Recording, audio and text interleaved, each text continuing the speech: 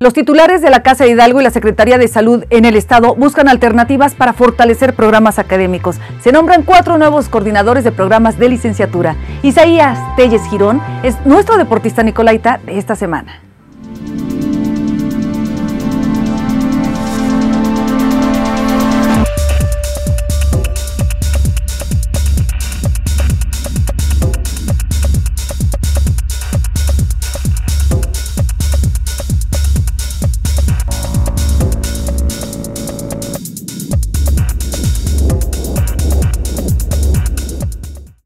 Amigos, me da mucho gusto saludarles. Bienvenidos a este espacio universitario de Los Nicolaitas.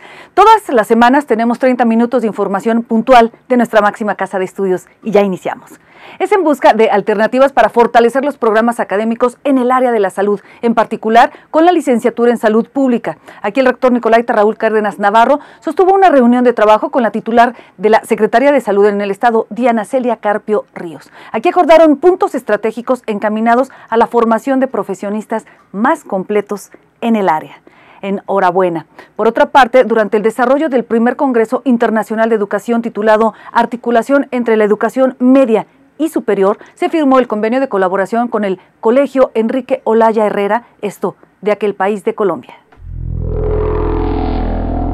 Lograr que nuestros egresados de bachillerato ingresen en mayor proporción al nivel educativo superior es una de las tareas principales para la actual administración, aseguró Raúl Cárdenas Navarro, rector de la Universidad Michoacana, en el primer Congreso Internacional de Educación titulado Articulación entre la Educación Media y Superior.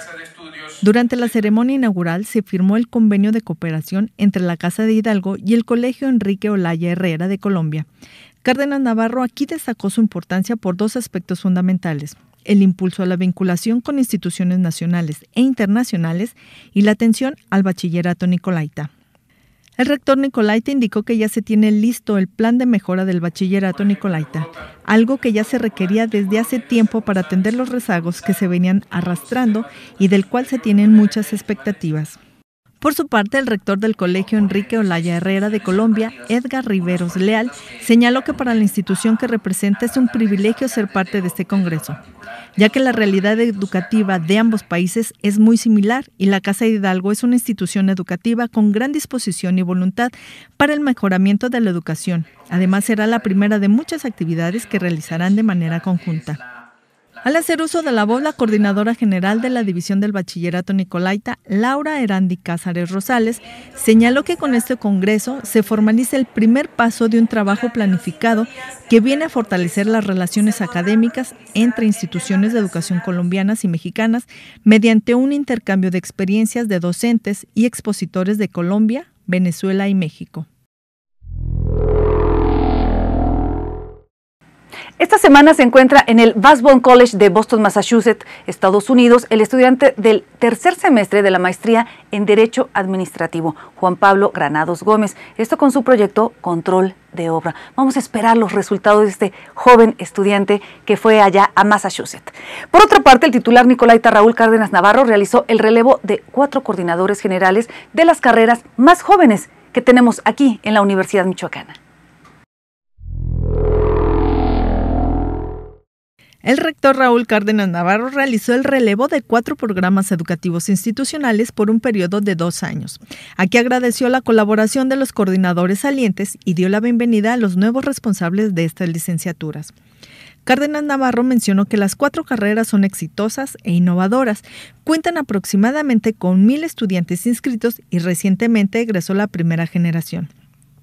El titular Nicolaita durante su discurso dijo que estas cuatro carreras no le cuestan a la universidad en términos de planta académica.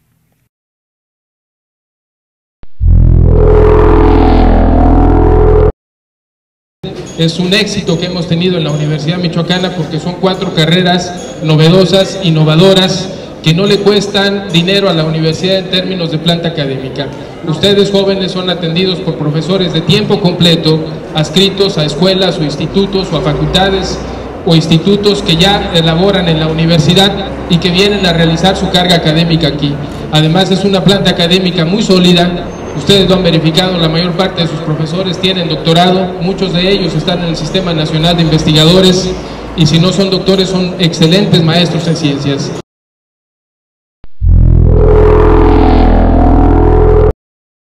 Los nuevos coordinadores generales son la doctora Rosa Elena Pérez Sánchez en la carrera de biotecnología, Ramiro Escudero García, ahora titular de la licenciatura en Ingeniería en Innovación Tecnológica de Materiales, mientras que el doctor Roberto Guerra González encabezará el programa educativo de Ingeniería Ambiental y el maestro en Ciencias Roberto Calderón Muñoz tendrá a su cargo la coordinación de la ingeniería en energía y sustentabilidad. La mayor parte de estos programas educativos se sustentan con la planta académica de al menos cuatro unidades, entre ellas la Facultad de Ingeniería Química, la Facultad de Tecnología en la Madera, del Instituto de Investigaciones Metalúrgicas y Materiales, así como Químico Farmacobiología. La Facultad de Ingeniería Civil cuenta con la maestría en Ingeniería de los Recursos Hídricos, única en la región de aquí del occidente de México y la cual cuenta con un convenio de colaboración con las instituciones de mayor prestigio a nivel mundial. La presente es para invitarlos a la maestría en Ingeniería de Recursos Hídricos que tenemos la convocatoria para el 2020 que iniciamos en marzo del 2020. Podríamos decirle que esta maestría es única en su género en México. ¿Por qué? porque es una maestría que está incluyendo el área de gestión de recursos hídricos que no hay en ninguna otra maestría relacionadas con la hidráulica. Es por ello que podríamos decir que es única en su género. Por otro lado, esta maestría está participando en las convocatorias del PNPC para obtener becas para los jóvenes de maestría. También eh, tenemos las becas de la Universidad Michoacana.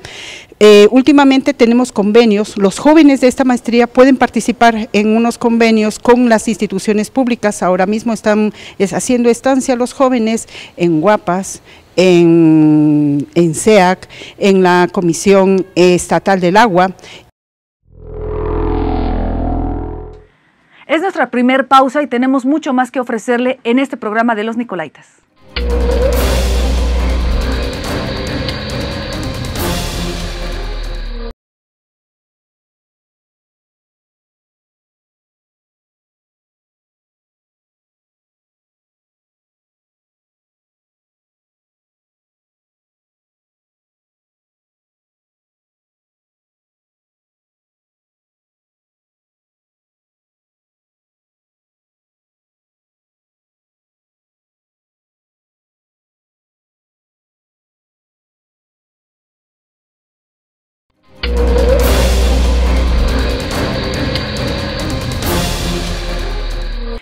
Al estudio con mi compañero Fernando Jaramillo. Él platica con la directora general de bibliotecas, Gabriela Sánchez Medina, quien da los pormenores del Seminario Institucional de Servicios de Información en línea, el famoso CICIL 2019, que se va a realizar en los primeros días de octubre. Vamos con Fernando.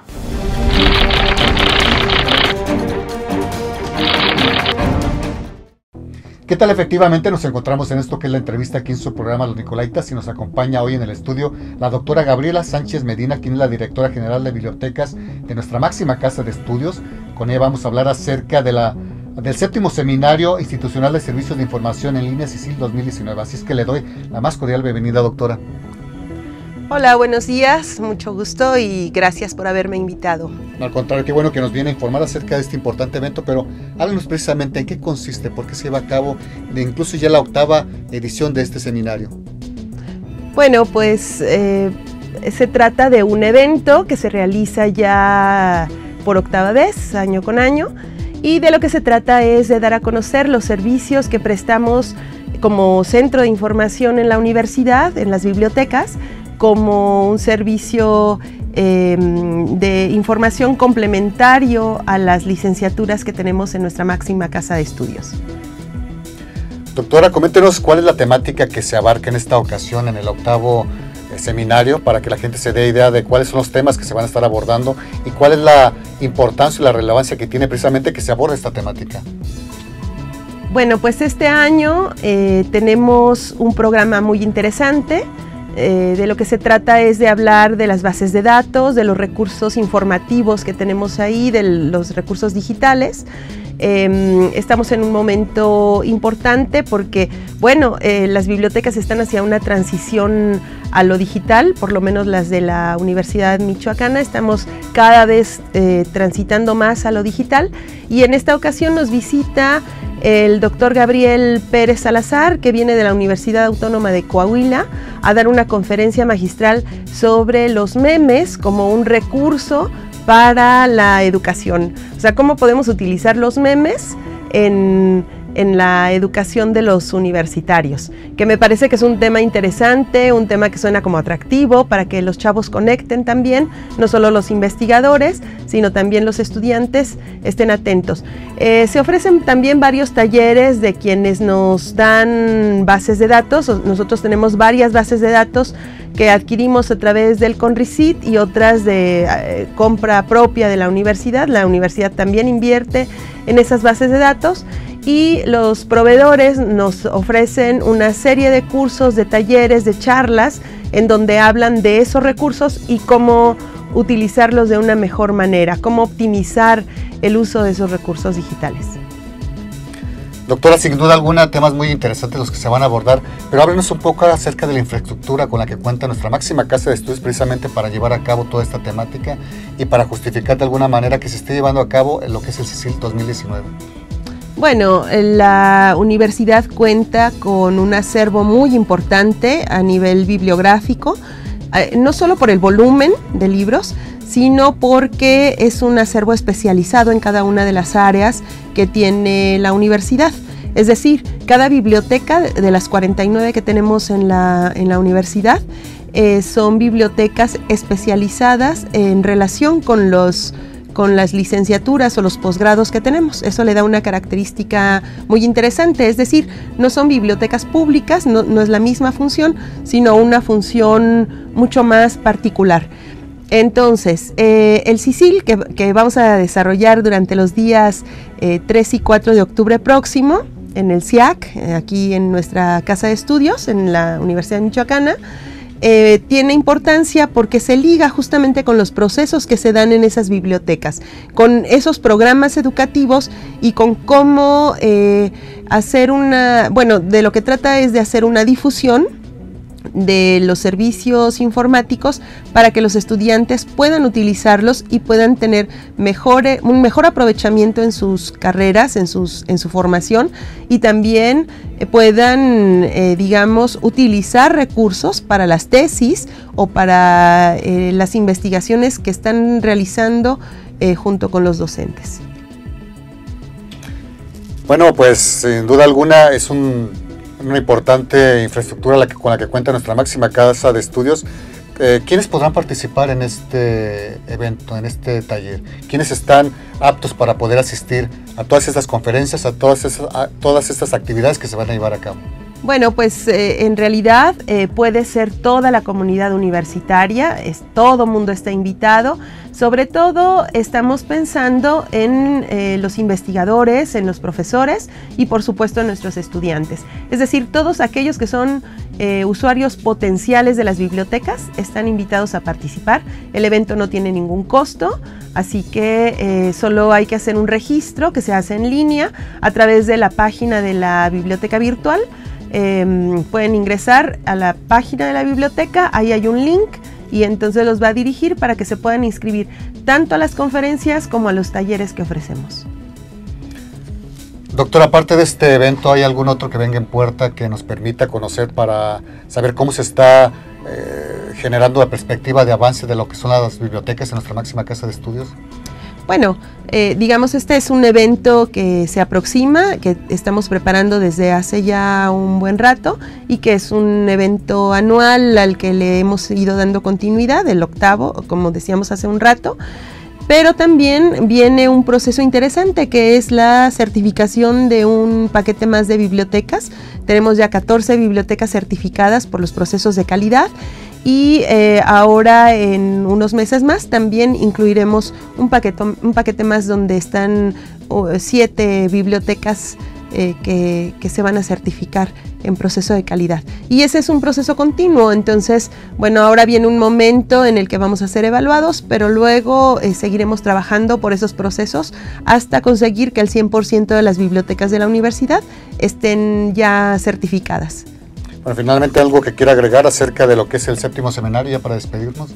Bueno, que todo el mundo esté invitado, que esperamos nos acompañen, que ojalá todos los Nicolaitas se interesen en este evento, en el que me parece van a poder obtener un buen, eh, una sustancia importante de información que luego les será muy útil en su vida cotidiana dentro de la universidad. Entonces son bienvenidos, entren a la página de la, de la, de la biblioteca virtual, registren su asistencia, inscríbanse a los talleres. Em, me parece que esto es lo que da vida a la universidad. Siempre he dicho que el, asunto de tener bibliotecas vivas es muy importante y las bibliotecas están vivas gracias a los usuarios. Entonces, esperamos que muchos usuarios atiendan este llamado para asistir a este seminario y puedan tener todos los recursos para una mejor utilización de la biblioteca virtual y de los recursos informativos que ofrecemos en la Dirección General de Bibliotecas. Doctora, pues muchas gracias. La invitación está hecha para el séptimo Seminario Institucional de Servicios de Información en INECICIL 2019, que se va a llevar a cabo 3 y 4 de octubre. Muchas gracias por habernos acompañado. Gracias. gracias. Continuamos con más aquí en Los Nicolaitas.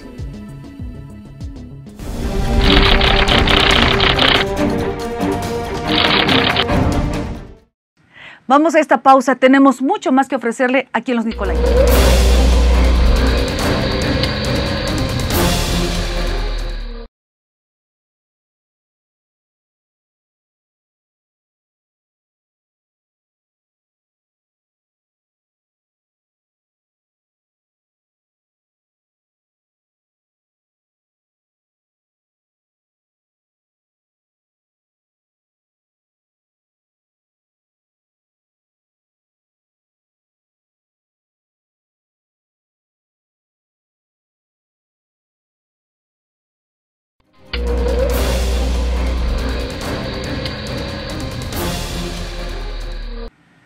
En otro tema, la Facultad de Contaduría y Ciencias Administrativas e Informática convoca a participar en la maestría en Administración. Aquí podrán desarrollar habilidades y competencias para participar y formar parte eficiente en la toma de decisiones.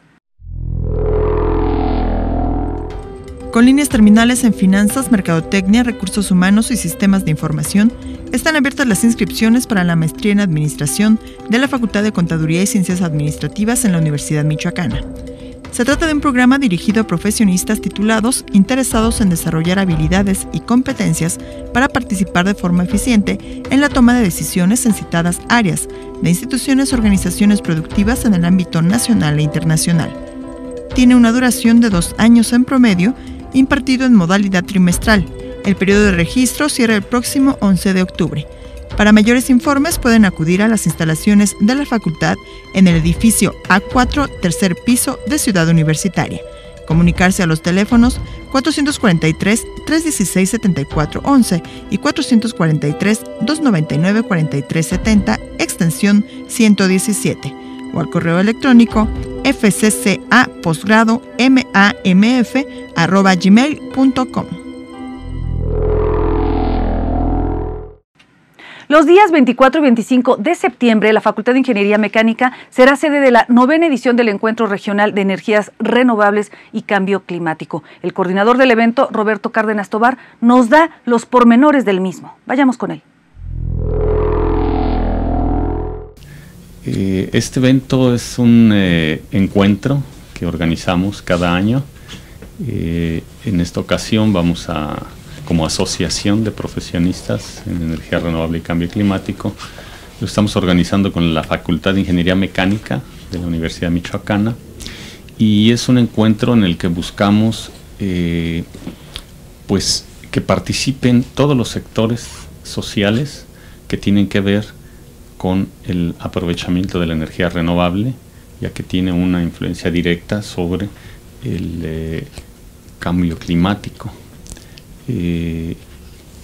Convocamos normalmente a los investigadores de diversas instituciones, tanto locales como de otros estados, eh, invitamos o convocamos también a los empresarios de la iniciativa privada, a las empresas públicas también y a la vez algunos sectores eh, gubernamentales y de la sociedad en general para compartir entre todos qué se está haciendo en materia de energía renovable y de mitigación de cambio climático. Esa es la razón de estos eventos que hacemos cada año. Le presentamos a continuación a Luis Fernando Cabrera. Es un estudiante de la Facultad de Derecho y nos habla sobre su experiencia en eventos de investigación dentro de la universidad. Esto es lo que nos dice. Bueno, yo creo que es eh, un área de oportunidad muy importante, sobre todo para quienes nos gusta o nos queremos iniciar en la investigación, porque pues convives con investigadores que realmente eh, pues aportan mucho, yo creo, a, tu vida académica. ¿Y a ti como persona cómo te aporta esto? ¿En qué te ayuda a crecer? Bueno, eh, personalmente pues mm, te genera motivación, mucha motivación. Eh, además de motivación, pues creo que también es un crecimiento no, no solo académico, sino pues personal. Actualmente se encuentra abierta la convocatoria para participar en el primer coloquio internacional de filosofía feminista. Aquí lo organizan el Instituto de Investigaciones Filosóficas. Vayamos a ver de qué va. El Instituto de Investigaciones Filosóficas Luis Villoro realizará durante el próximo mes de noviembre el primer coloquio internacional de filosofía feminista, evento organizado de manera conjunta por el Centro Interdisciplinario de Estudios de la Mujer y el Seminario de Investigación en Teoría Feminista, el cual se llevará a cabo los días 13, 14 y 15 de noviembre en el auditorio del propio instituto. Las actividades se desarrollarán a partir de cinco líneas temáticas. Las filósofas, filósofas feministas, pensadoras, escritoras e intelectuales, imágenes y figuras y pensadores aliados. Los interesados deberán enviar sus resúmenes de propuestas al correo coloquio antes del 20 de septiembre. Le quiero recordar que continúa abierta la convocatoria para participar en la carrera atlética, esto con el objetivo de impulsar el deporte y el cuidado de la salud entre la sociedad, entre los nicolaitas, entre todos los michoacanos. Es el 22 de septiembre en punto de las 8 horas, 8 de la mañana, en el Colegio de San Nicolás. Vamos a correr 5 y 10 kilómetros. Aquí nos estamos preparando ya todos. Por otra parte, ya que estamos en este tema deportivo, le quiero presentar a continuación a Isaí Telles Girón Zambrano. Es un estudiante nicolaita y representa a la universidad en esta disciplina del taekwondo. Vayamos con él.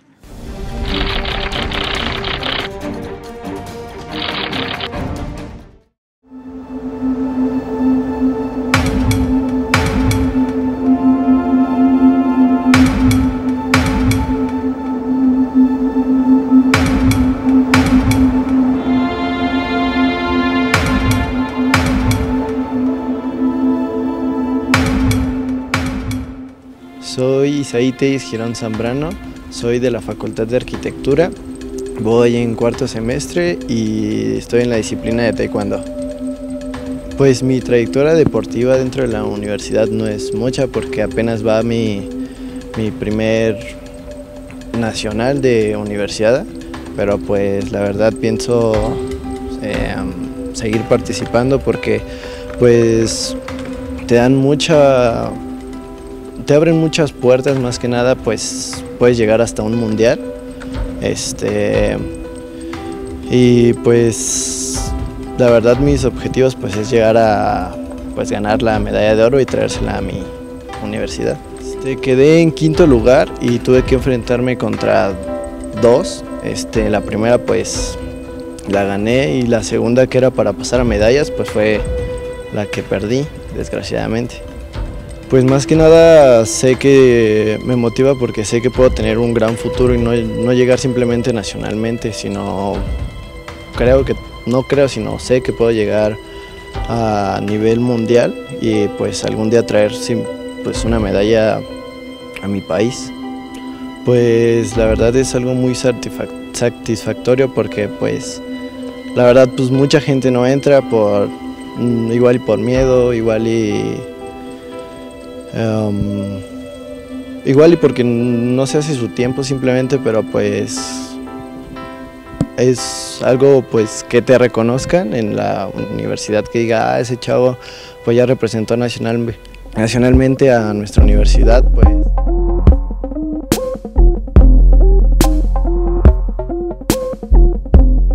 Pues sí, la verdad pues les recomiendo porque pues se te abren muchas puertas eh, dentro de la facultad y dentro de tu deporte. Em, que pues la verdad te pueden ayudar en un futuro a tu vida y pues la verdad yo te les recomiendo que pues entren a, a la selección de algún deporte.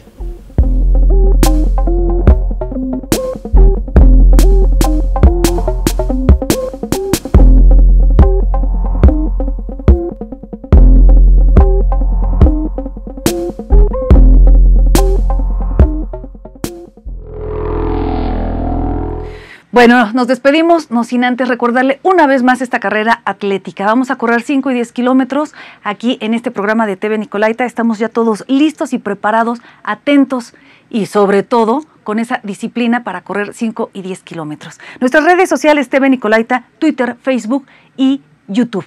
Yo me despido, soy Areri Sánchez, lo espero la próxima semana. Hasta pronto.